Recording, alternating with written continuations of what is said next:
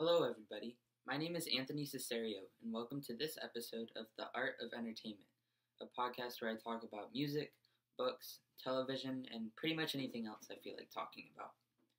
Today I'm going to be sharing my thoughts on the book The Chaos of Now, written by Erin Jade Lange. Um, so, just a brief summary before I get into it.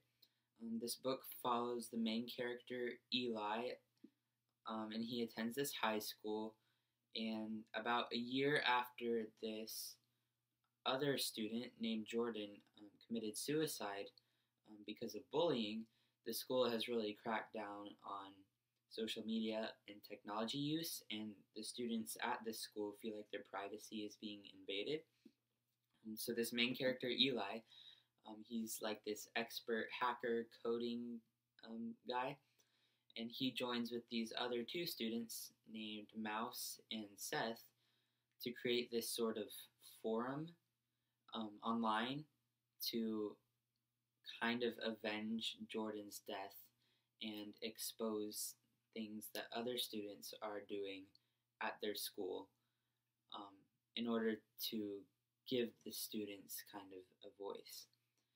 And so throughout the book, you kind of see how at first they um, Eli feels like what they're doing is justice for Jordan because they're exposing all the bad people who they feel drove him to suicide.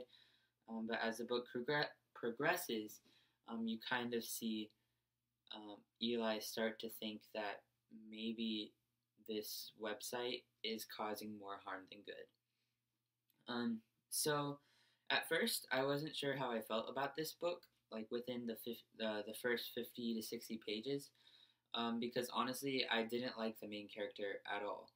Um, Eli at the beginning of this book, he's he's arrogant, um, he's a jerk, and he's a pretty unlikable character.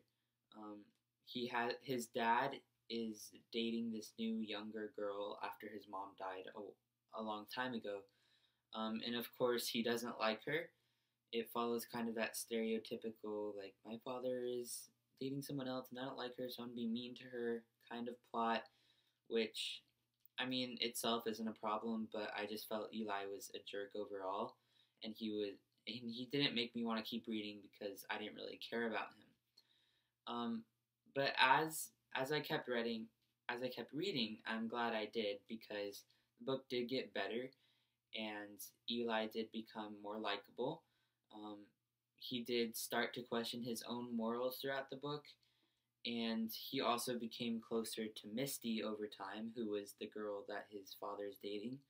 Um, and so that's that storyline is admittedly it's kind of predictable, um, but nonetheless I found it enjoyable because I did like Misty as a character, and I was hoping that they would um, become closer as the book progressed. So I'm glad that happened.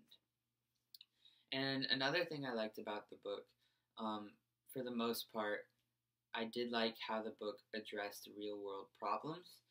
Um, at least in the first, I would say 90% of the book. Um, it dealt with bullying, social media, crushes, friendships, familial relationships, and a few other things.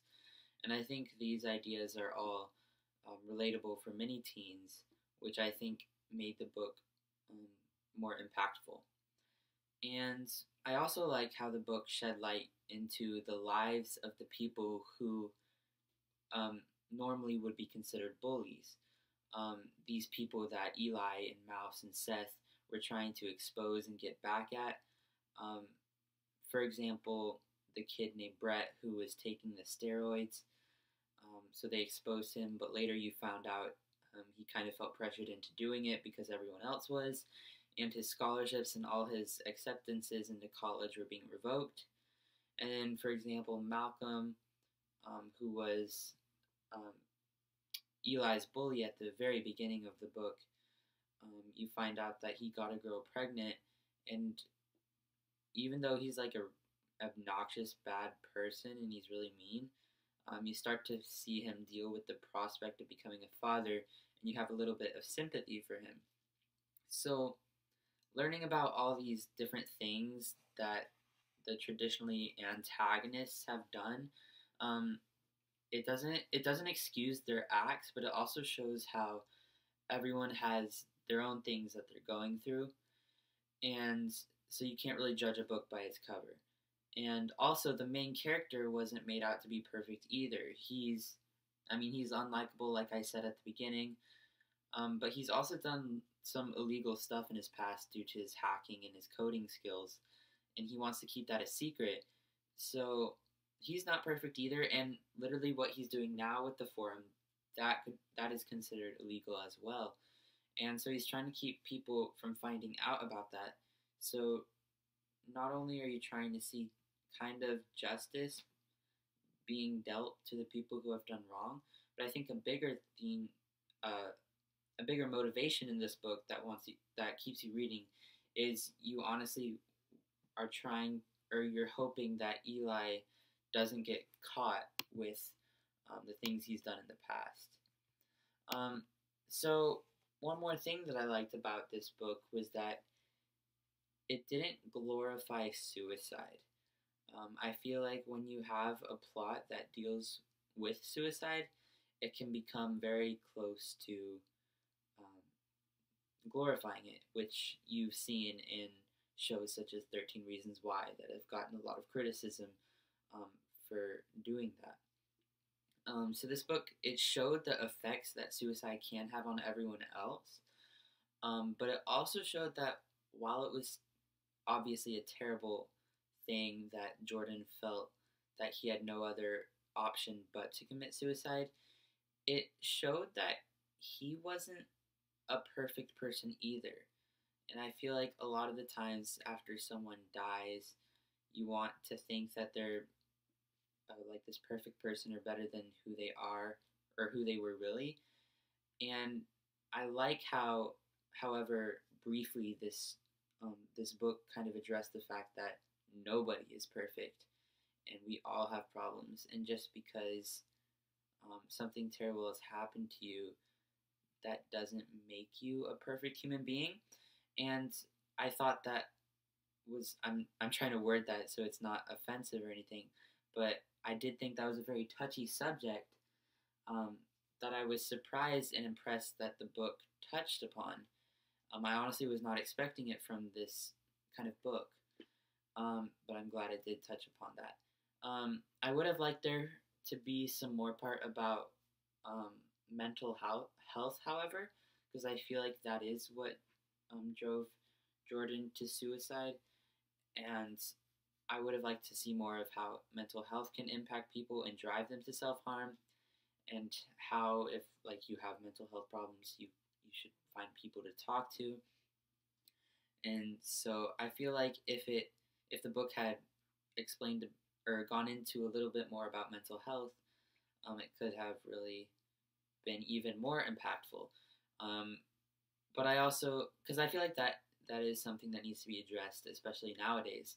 Um, but I also understand that maybe this might have been difficult to implement, especially with everything else in this plot that um, was going on. Um, so now to some of the flaws that I think this book had. Um, as I already mentioned, um, the mental health aspect I feel like could have been better. Um, I also would have liked to seen more character development. I feel like Eli and Misty's character development was probably the best in the book. you saw them grow together throughout the book, and you sympathized for both of them. Um, and I feel like Mouse's and Seth's character development was was fine to an extent because towards the end you started to find out some hidden past secrets about them. Um, but I feel like they could have had a bit more character development, and I also feel like um, Zach and Isabel should have had more character development as well because um, altogether this book is a coming of age novel and while the main plot point does center around Eli um, and the Friends of Bishop trying to manage their forum and kind of avenge Jordan, um, Eli's relationship with Zach, um, his friendship and how it became strained, as well as Eli's relationship with Isabel and how his crush turned into them getting together, but then they had to deal with the struggles of the relationship. Um, I felt like those two plot points were also important to the novel as well. And because of that, I feel like they should have gotten a little more time to be fleshed out as characters. Um, so yeah, that was one flaw I had with the book. Um, and another flaw I had, and probably my biggest problem with the book, I would say, is that I felt like the ending was kind of rushed, abrupt, and underdeveloped. Um, I wish there had been a bit more to the ending because it honestly felt like the kind, the kind of conclusion I would write when I'm exhausted writing and I just wanted to get the story over with. And so, I mean, that's not to say it's a bad ending. Like, it left me thinking about the book after I read it. Um, but it was just, it just felt really quick because Eli, at the end of the book, he randomly just puts his confession on display to all of the colleges and the um, the coding competition that they're entering. So it's like literally the this grand act that Eli does to try to ease his conscience, and that's just how the book ends. Like we don't know anything that happens out of after that, and it's all just so sudden. And I feel like if there was like one more chapter in the book, um, the ending could have been a bit more spread out and have um, it was it would have been more solid without being so abrupt, but also still be impactful. Um, so altogether, I mean, I feel like the book was really good. It just towards the ending, it just clipped off too soon. Um, but I would rate this book uh, probably 3.5 stars out of 5 um, because it was an entertaining read. It was a quick read. Um, it did have a lot of important themes, and I liked how his character, the main character Eli, his character developed over the book. Um, but then on the downside, I felt like there should have been a bit more character development. Um, the mental health aspects of suicide could have been addressed a bit more, and the ending was too abrupt. So, yeah, those are my thoughts on the book. Um, I hope you enjoyed this episode, and I'll see you next time.